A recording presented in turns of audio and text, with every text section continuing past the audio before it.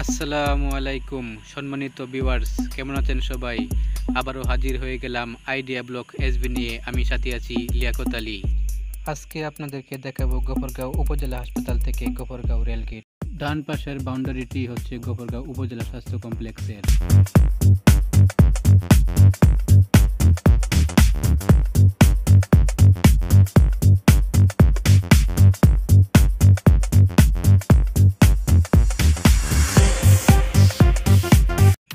ডান পাশে রয়েছে উপজেলা স্বাস্থ্য কমপ্লেক্সের মেইন গেট বামে রয়েছে কিছু ফার্মেসির দোকান।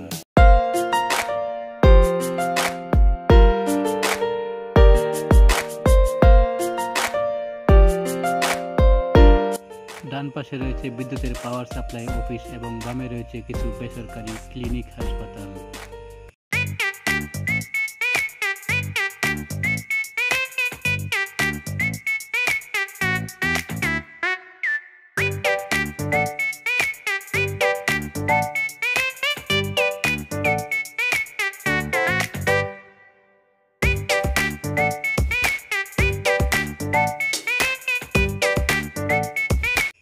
ডান পাশে রয়েছে গরুহাটা গোবরগাঁও গরুহাটা। এই হাটটি প্রতি সোমবার বসে। গরু, ছাগল, বেড়া, মহিষ, হাঁস, মুরগি, কবুতর এবং ডিম পাওয়া যায়।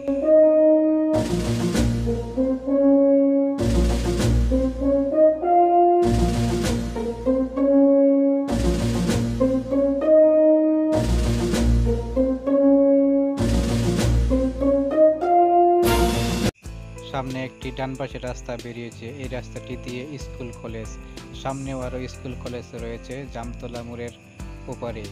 সামনে জামতলা মোড় এবং সামনে একটি তিন রাস্তার মোড় রয়েছে, ওখান থেকে ডানে বালুকা রুট। আমরা যাব বালুকা রুট ধরেই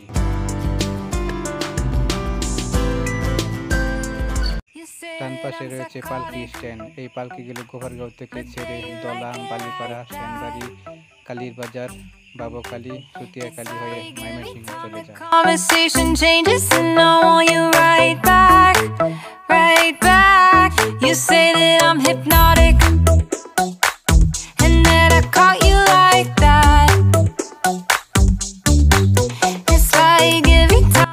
সামনে রয়েছে একটি তিন রাস্তার মূল সোজা রাস্তাটি চলে গেছে জামতলা ইমামবাড়ি হয়ে হোসেনপুর কিশোরগঞ্জ এবং ডানে বালুকা বকরগাঁও রোড।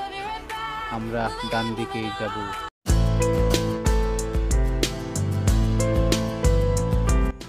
আমাদের গফরগাঁও।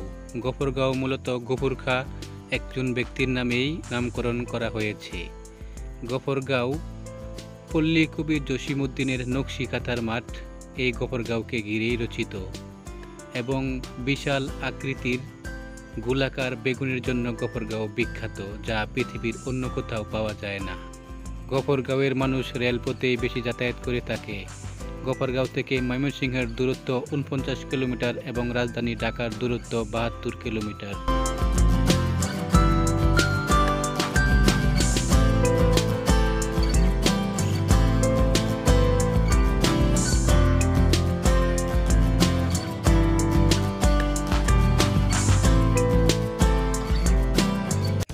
সামনেই গফরগাঁও বাজার চৌরাস্তা। ডানে এবং বামে যে রাস্তাটি ঢুকেছে, এটাকেই মধ্যবাজার বলা হয়ে থাকে। আমরা যাচ্ছি বালুকার দিকে, তাই আমরা সোজা যাব।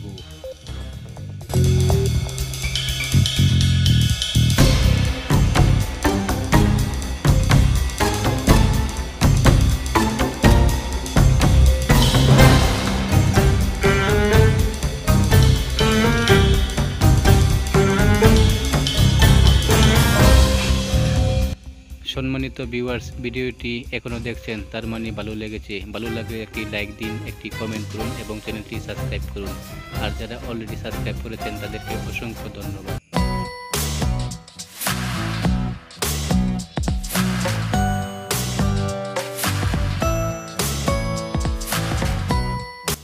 এটাই গফরগাঁও রেল গেট বামে গফরগাঁও রেলওয়ে স্টেশন এবং ঢাকার দিক, ডানে ময়মনসিংহের দিক। আমরা যাচ্ছি বাই রোডে বালুকার দিক। সম্মানিত ভিউয়ার্স আজকে এ পর্যন্তই। আবারও কথা হবে আগামী ভিডিওতে। সেই পর্যন্ত ভালো থাকুন, সুস্থ থাকুন। আল্লাহ হাফেজ।